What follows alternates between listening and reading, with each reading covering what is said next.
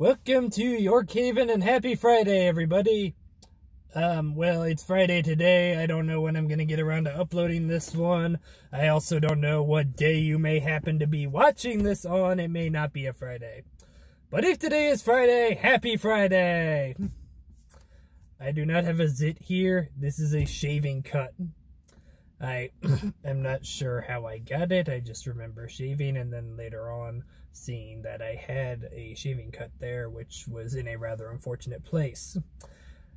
It's for that reason why I haven't been on camera in most of my work calls lately. so today I'm going to address the fact checkers. I have not gotten any fact checkers, excuse me, on my videos yet but my videos are getting more popular than I thought they would be. I thought that it would basically just be for my inner circle, but many other people have been sharing them and getting more eyes on them, which I really like it when people do, so please keep sharing it. And I think it's only a matter of time before someone comes in and goes, What is this guy talking about? He doesn't know a thing about autism. Well, there are a lot of reasons why people might do that.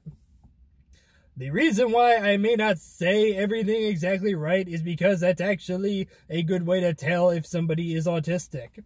If they're having trouble explaining stuff and uh, don't use the right words for everything when they mean to, that's a communication difficulty, which a lot of autistic people have.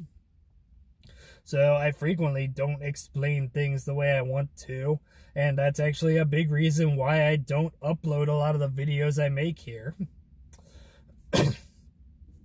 But many other people have told me things like, oh, I know someone who's autistic and I know everything about autism.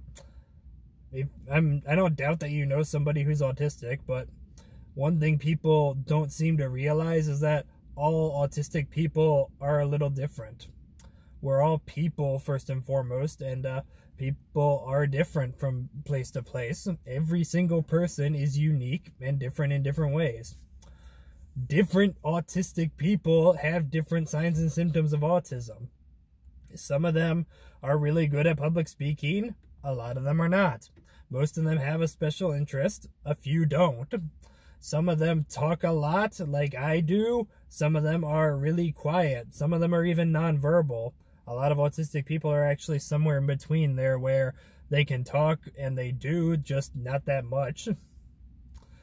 these are all different signs and symptoms of autism. And like we said before there's the autism spectrum. That's a reason why people say autism spectrum. It's because uh the spectrum isn't like more autistic less autistic you're here or here or here or here. It's more like executive function communication ability special interest all these different symptoms that come out in the spider web of things and people can be all over the place on that spectrum and that's the beauty of the autism spectrum. So just a, every autistic person is different in different ways and sometimes it's even hard for me to remember that. So if a lot of the things i'm saying don't line up with your autism experience maybe you're autistic yourself maybe you know someone else who is that's why it is. It's we're all different in our own special different ways now, I did have some people in my past who have assumed they knew everything about me and how to handle me because they knew someone who was autistic. And a lot of these people are not knowledgeable enough about autism as a whole. In fact, a lot of them made fun of me for being autistic and tried to screw with me in different ways. And I really don't like when people do that. Like, I really, really don't like when people do that.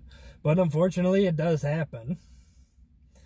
Now, I'm not going to name names or incidents. I may talk about them later on in other videos, but I'm going to keep them really vague if I do. And I'm not angry at anyone who may have not known everything about autism. This is why I'm making these videos to try and spread the message about it and make it more normalized that some people are autistic and those people are all struggling with stuff.